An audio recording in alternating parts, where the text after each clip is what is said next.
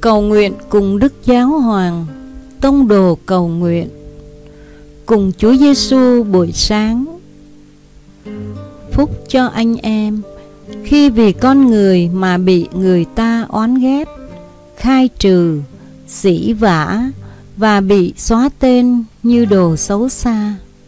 Ngày đó anh em hãy vui mừng nhảy múa vì này đây, Phần thưởng dành cho anh em ở trên trời Thật lớn lao. Lạy cha, Những cảm xúc nào đang trỗi dậy trong con Nhờ những lời này? Trong buổi sớm hôm nay, Xin cho con biết chạy đến tâm sự cùng Chúa.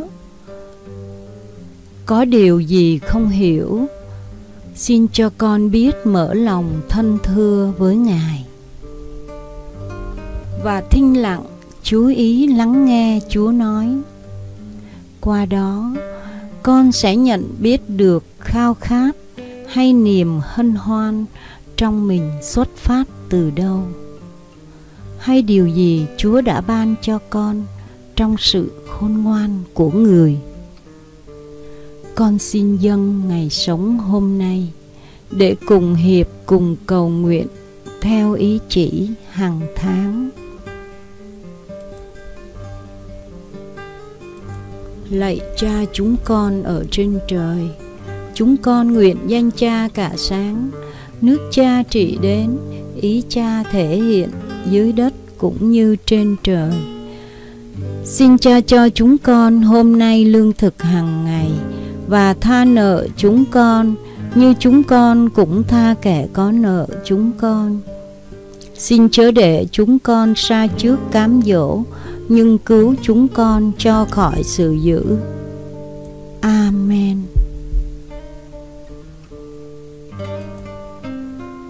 Cùng Chúa Giêsu trong ngày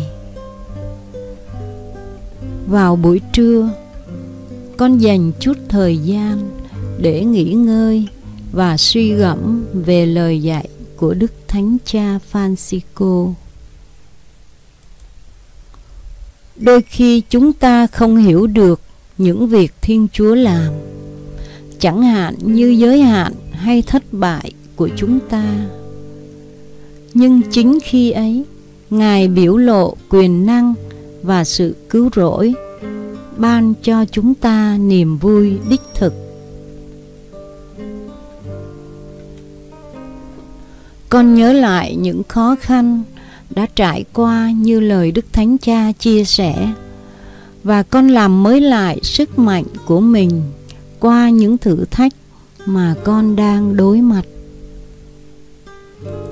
Con mong muốn chia sẻ thông điệp hy vọng này tới anh chị em xung quanh mình để cùng dâng lời cầu nguyện cho mọi người nữ đang sống đời thánh hiến được ơn an ủi khi đối mặt với những thách thức trên con đường phục vụ của mình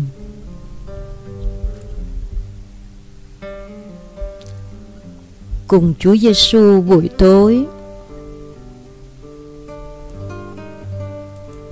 Con biết ơn cha vì một ngày sống nữa đang dần khép lại.